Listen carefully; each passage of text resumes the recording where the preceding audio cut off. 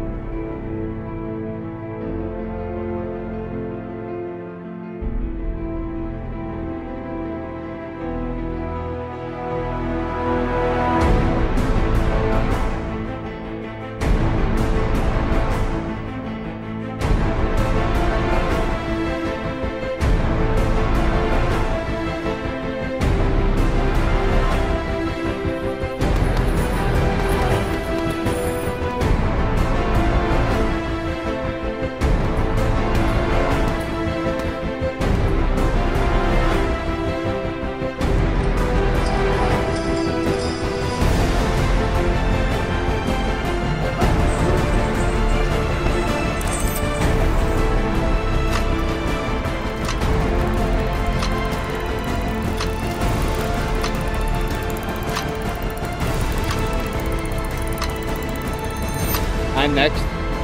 I'm next. I'm next. I'm next. From Belfast, Northern Ireland.